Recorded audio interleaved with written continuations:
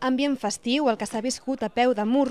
Unes 300 persones s'han congregat davant el mural per repintar-lo, aprofitant el pas de la marxa pels drets socials de Vallès Oriental per Cardedeu. Alguns dels assistents han dut samarretes en solidaritat amb el col·lectiu Jo també hi era, present a la repintada. L'acte també ha servit com a protesta per la sentència i com a símbol de resistència.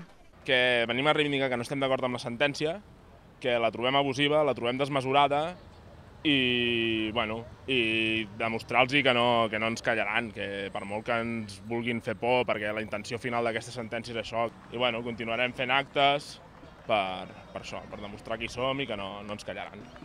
Com ja és habitual, tant grans com petits han pogut agafar el pinzell i aportar el seu gra de sorra. L'acte ja havia estat anunciat abans del seu inici per ser una convocatòria d'una acció il·legal.